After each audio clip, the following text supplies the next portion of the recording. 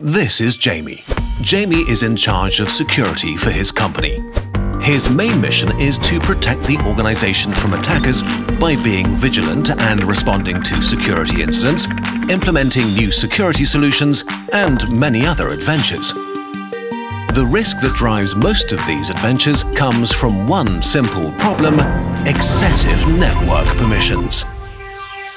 In simple terms, users and machines have way more network access than they need or ever should.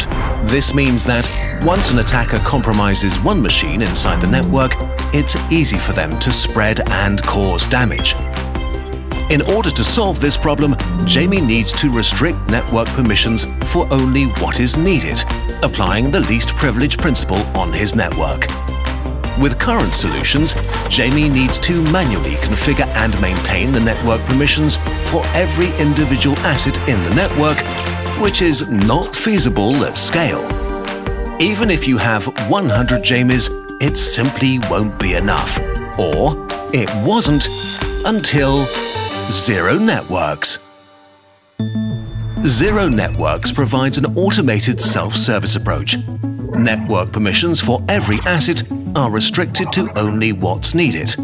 If a new permission is needed, the user can get it himself with a simple two-step verification process.